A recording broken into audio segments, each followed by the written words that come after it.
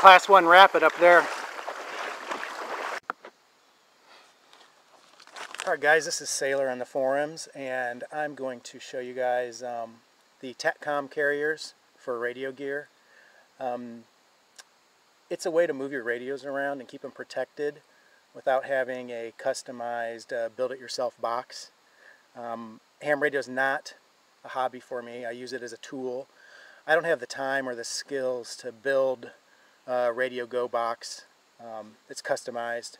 I wish I did. They look great, but that's just uh, not my style and uh, not my way of doing things. So I bought the TACCOM carriers and um, we're out here doing some rucking and uh, a little squirrel hunting and I brought uh, an FT857 and uh, put that in a TACCOM carrier. I have another one, another carrier for an 18 hour amp hour battery and another one for a power supply. I only bought the radio and a small battery today. I'm going to uh, pull it out here and uh, give it a show for you.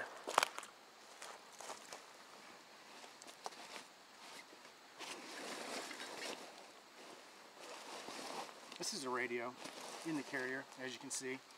It comes with a nice handle and um, protects the front VFO. It's got a flip down leg here. Each one of the carriers nests on top of each other. You take this front cover off. See these little feet right here? They fit onto these holes on the top so you can put another one on top of it without it sliding around. What I'm going to do now is go ahead and uh, hook this up to my antenna and uh, see if we can get uh, connection to my simplex repeater at home. The, the front cover hooks onto the top here, slides back, you can use it as a rack to hold your HTs. I've already strung up a line with my tree climbing gear up into this tree. I'll go ahead and pull an antenna up and see what kind of performance we can get out of this. Um, so I'll turn the video off here and then once I get it up and running I'll get it back on for you.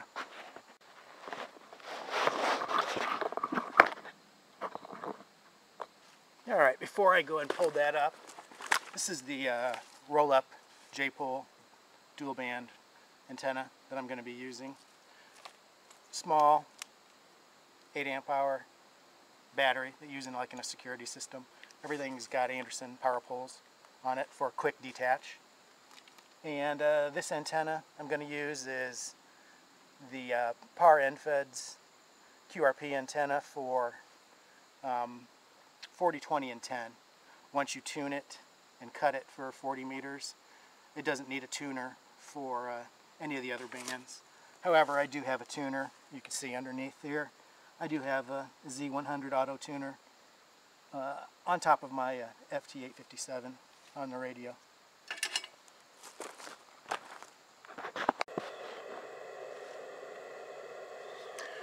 Alright guys, I got the antenna up about maybe 25 feet and we are on a bluff above the Wabash River approximately, oh I don't know, 40 or 50 feet above the river. We're kind of in a low spot.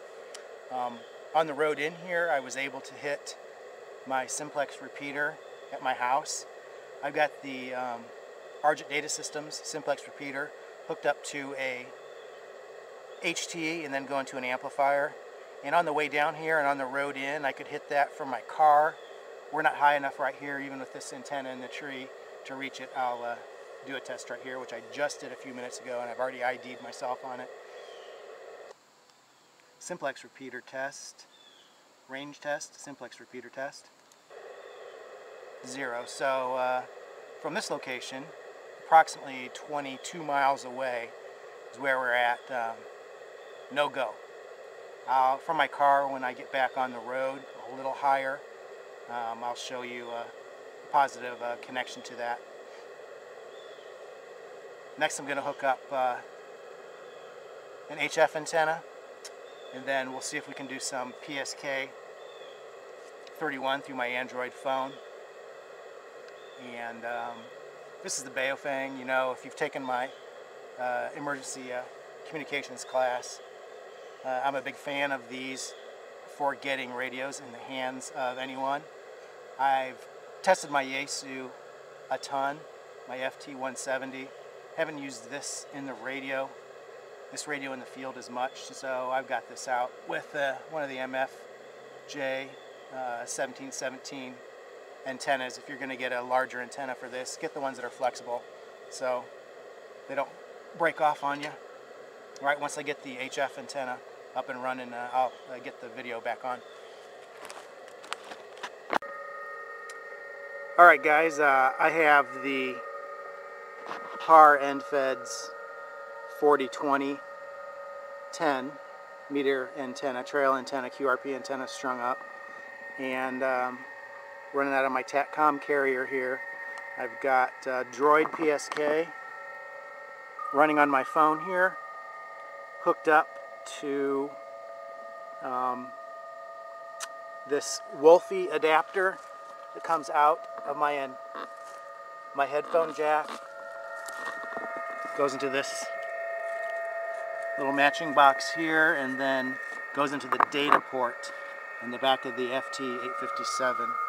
It's not required. I could use volume and just um, key my radio but with this I can set up all my presets and I don't have to use my microphone so um, really handy don't need a computer to communicate on HF on the data modes uh, we talked about this in my uh, survival communications class but uh, I just showed you the equipment I did not uh, demonstrate for you guys this so this is in action, working in the field. Um, I'm not going to try to text and uh, transmit at this point.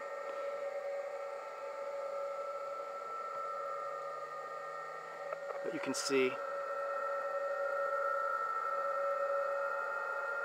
lots of activity on 20 meters right now.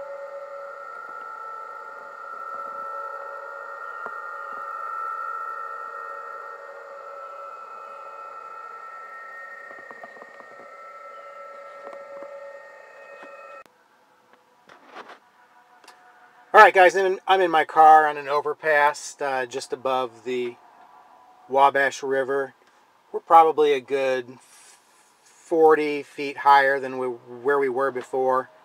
And uh, my mobile radio should be able to make contact to my simplex repeater approximately 21 miles away would be my guess from this location. I'll check it when I get home. Um, but uh, let's see uh, how clear it is and if it's legible. Simplex uh, repeater test. Simplex repeater test. Simplex uh, repeater test. Simplex repeater test. Alright, so that was legible. We made contact uh, to the simplex repeater located at my house uh, running um, through a Baofeng and the ADS Argent Data System simplex repeater and then running into um, my amplifier that I have set up at home. Uh, the antenna at home I think is a Diamond X50 on my roof about maybe 25 feet. Um, the antenna is about 6 feet above my roof line. Um, when I get home I'll videotape uh, using the, the repeater so you can see how it's set up at home. Um, but uh, we were just in a hole down at the river bottom, even though we were above the river on a bluff. And uh, even though I had the uh, antenna in a tree, maybe 25 feet up, but just we just didn't have the height um, to get through the uh, the earth that was between me and the uh, antenna on my uh, home. So I'll continue videoing when I get home later.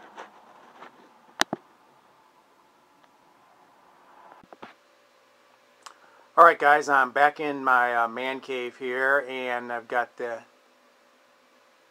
radio back set up uh, where it belongs normally and it's TACCOM carrier in the man cave and um, right here is the Argent Data Systems SR1 simplex repeater and I've got that connected to that Baofeng there on the right hand side. And then that is then down connected to this RF Concepts amplifier, which goes to a Diamond X50 on my rooftop.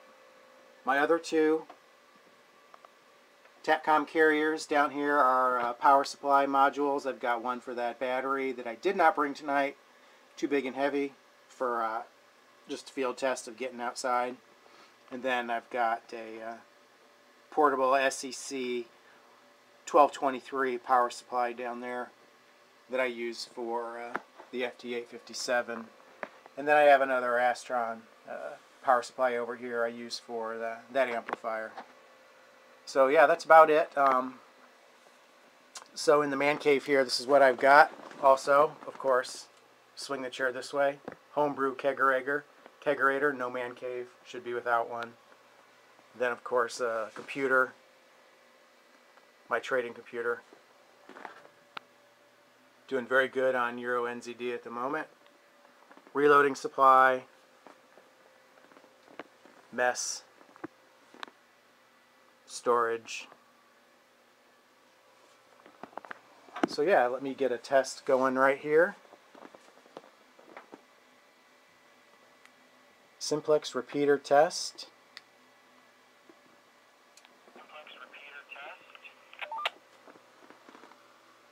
You can see the uh, Baofeng activate once I do a test on this other Baofeng.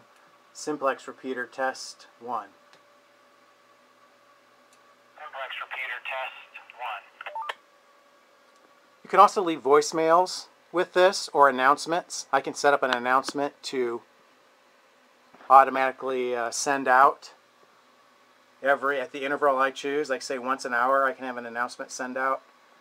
Once every 10 minutes, I can have it I identify automatically by CW, my call sign. Um, which when I have it turned on, I, I do that. Um,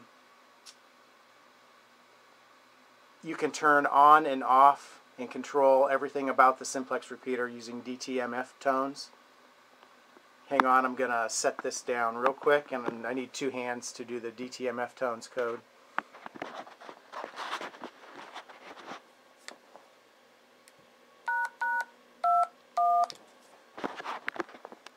Simplex repeater range test. Announcement number 1. So I did the DTMF code to um, play the announcement, and that was announcement number one that I have recorded. I can change that at any time. It's totally controllable um, by DTMF tones, which is uh, fantastic. So I'll put a link to all of this equipment in the uh, in the post. If you have any questions on it, just uh, give me a ring.